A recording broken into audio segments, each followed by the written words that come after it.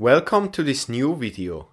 Today I want to demonstrate the free and pre-installed tree generator add-on for Blender and show you how to create this looping wind animation. Before we can start we have to enable the add-on. Open the user preferences, go to the add-on tab and search for Sapling Tree Gen. When found, make sure to tick this little checkbox to activate it. Also enable the node wrangler if you haven't already, since we need it later on for the shading process. To add a tree, press Shift A and select the sapling tree under Curve. In the bottom left corner you should now find this menu where you can customize the tree. The tree generator already comes with a few great presets that you can choose from. For this video I'm going to use the small maple. For the geometry I leave all the settings on the default, but I want to increase the branching levels to 3. Sometimes when using this add-on the tree becomes completely black. Don't worry about that too much. It usually goes back to normal shading after changing any other setting. Next, I enable the leaves and change their shape to rectangular.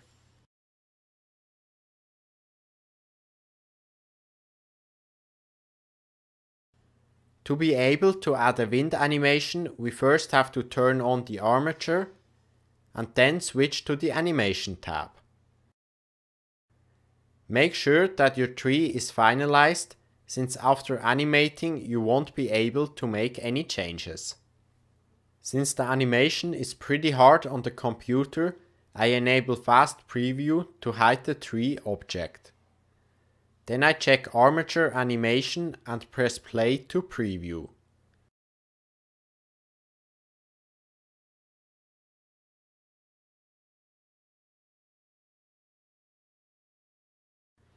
A really cool feature of this add-on is the ability to loop the animation. I set this to 100 which means that it will repeat the same motion every 100 frames.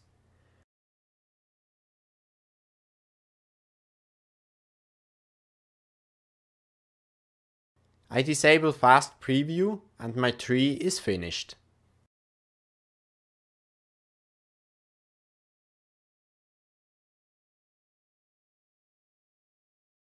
The next step is to add a shader. To see the materials, switch to render preview mode and disable scene world.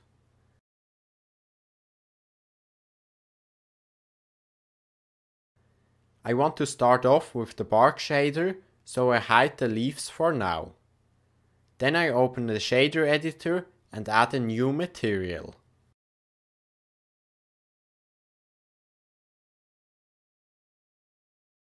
To get the bark structure, I start off with a noise texture.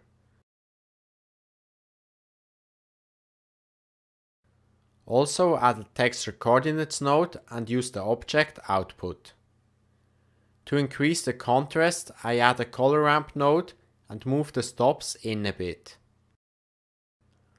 The first thing you might notice is that this pattern is constantly repeating.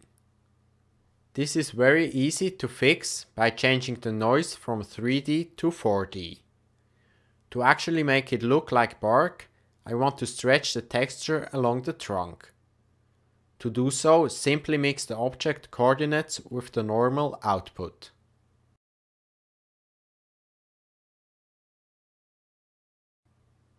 Then I increase the scale of the noise to about 40 and adjust the colors to make it look more like a tree.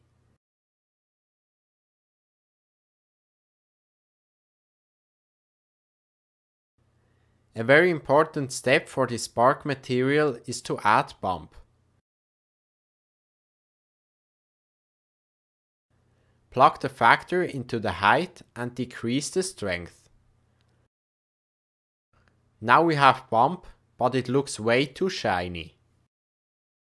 To fix this, add a map range node and use the same texture again for the roughness. Adjust the from min and from max values to increase the contrast and set the to min and to max to rather high values to make the surface less reflective. This material already looks pretty good, but I want to add a bit more variation with another noise texture.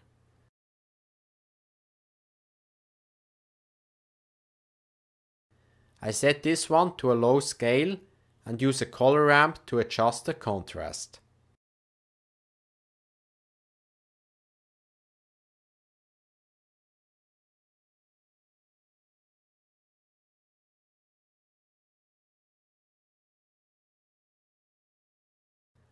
I'm also going to slightly increase the distortion.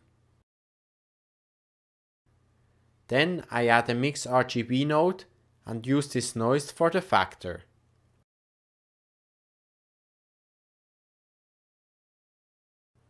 I want the mix color to be a dark green.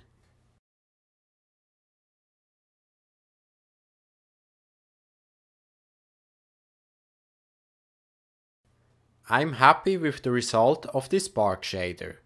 Here is the complete node setup.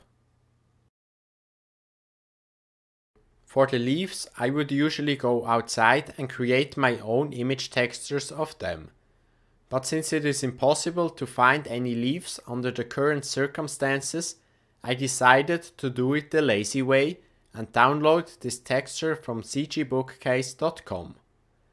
I use the base color, normal, opacity and roughness maps from both the front and the back. For my purpose the 1K version was sufficient.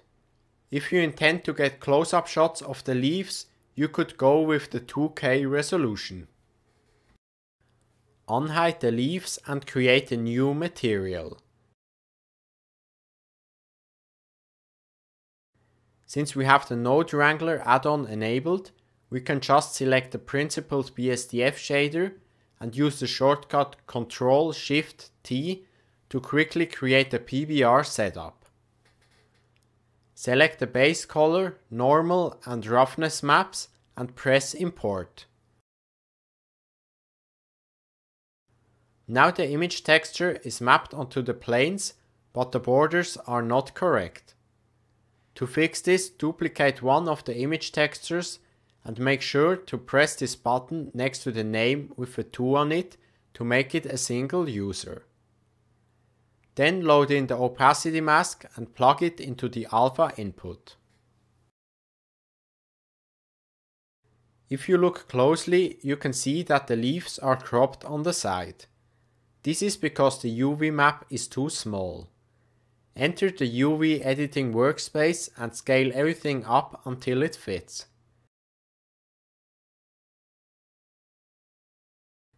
Now the sides are correct, but we get this extra piece in the front.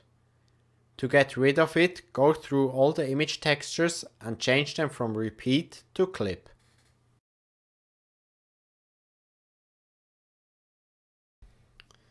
The leaves are a bit too small for my taste. To increase their size, enter edit mode, change the pivot point to individual origins and press S to scale them up.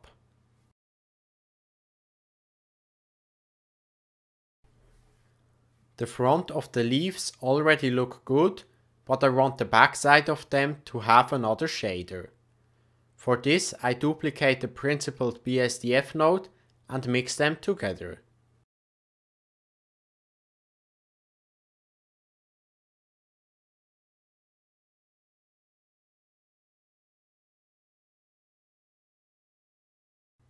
For the factor, I use the geometry node with the back-facing output. This adds the first input to the top part of the faces and the second input to the bottom part. For this shader, we can again use the shortcut Ctrl-Shift-T to add the image textures. Then make the same adjustments we made before.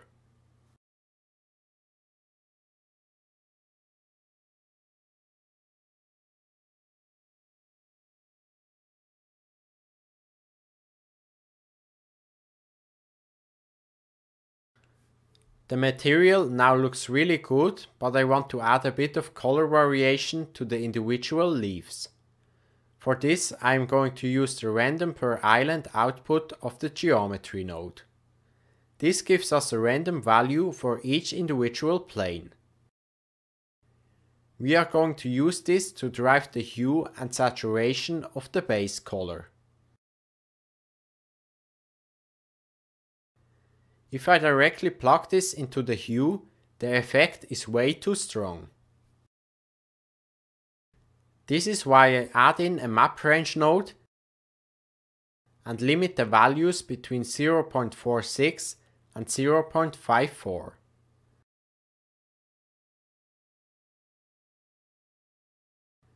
Then I do the same with the saturation, but this time I want the values to be between 0.9 and 1.1.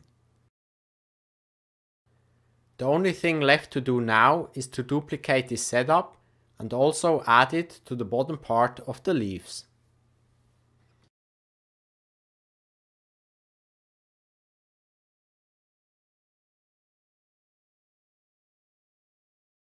This is the final node setup for the leaves. And here is the finished tree with the wind animation.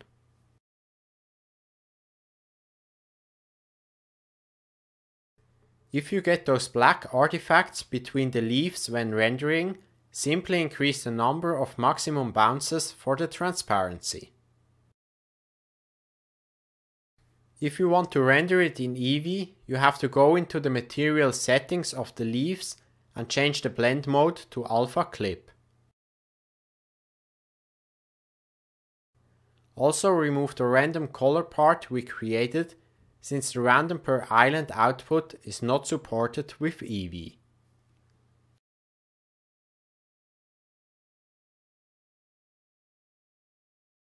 That's it for this tutorial. I hope it was interesting and I could teach you something new. Feel free to leave a comment if you have any questions or feedback on this video. I'm Nik from Blender Daily, see you in the next one.